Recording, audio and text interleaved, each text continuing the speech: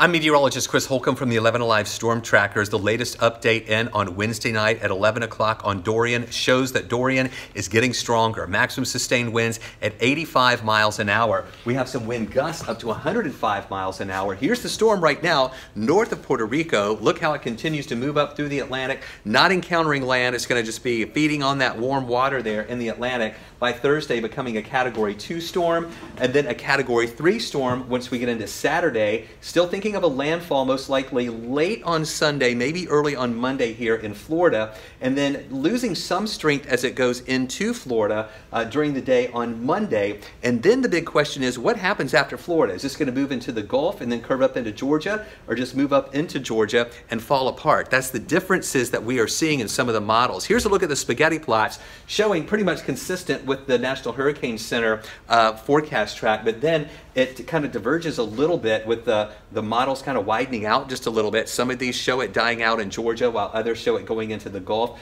We'll keep an eye on that even into next week to see if any of those remnants move our way, increasing our rain chances. Here's a look at the GFS model, the American model, and the Euro model, kind of put on top of each other here. What we're looking at is this center circle. And you'll notice that the GFS or the American model moves this a little more to the north, and the European model keeps that more to the south. If that happens, what the Euro is saying, that goes into the Gulf, intensifies, and then it makes a second landfall of, in Florida on the panhandle, whereas the American model shows this kind of dying out in South Georgia. Both of those scenarios could bring us some rain as we get into next week. So we're working really hard to try to fine tune this, but it all depends on what happens um, as that system makes landfall and then where it goes after that. We hope to be able to fine tune that a little bit more as we go through the next few days.